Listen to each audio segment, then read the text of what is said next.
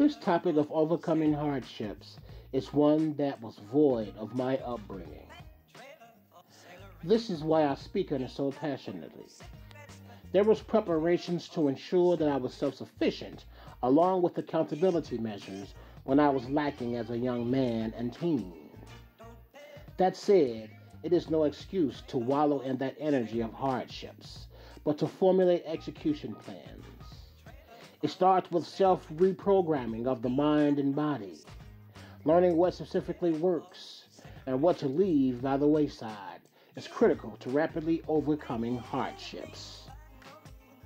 The question of how is answered in the following What is it that you want? What level of ambition are you in? Are you willing to lose to win?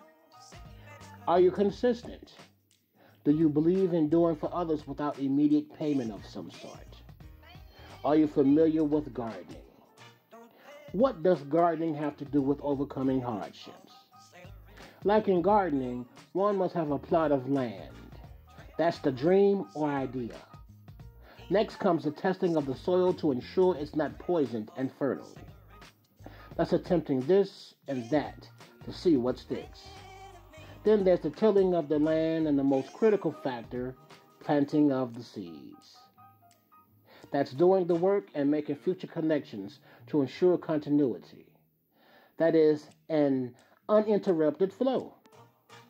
That last one is very important because we meet people daily, and depending on one's level of discernment, determines the company that we keep and their roles within our lives. Life requires hardships for positive growth. The sun helps and harms. Light is essential in both people and plants, in keeping with gardening. Once those requirements are met, protection of the garden or your mind and body is necessary, as there are pests of all sorts who seek to destroy your garden, your mind and body, and ultimately your spirit, as displayed by all social site behaviors. Believe it or not, Goodie, Goodie Mob and so many others were correct. They got us fighting for our spirits and minds. A spiritual war has been present since man began. There are very few on social sites really living a life that's best. But despair, ratchet Olympics is not what's best for life. Another thing about life is that it has fire and brimstone implications, meaning life will put you or part of you into the fire. Thus, maybe provide, proving what I think to be true is that life is hell and heaven is death.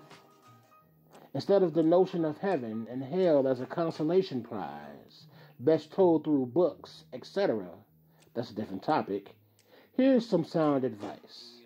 First, put yourself through hell to better handle life's version. Expect the unexpected.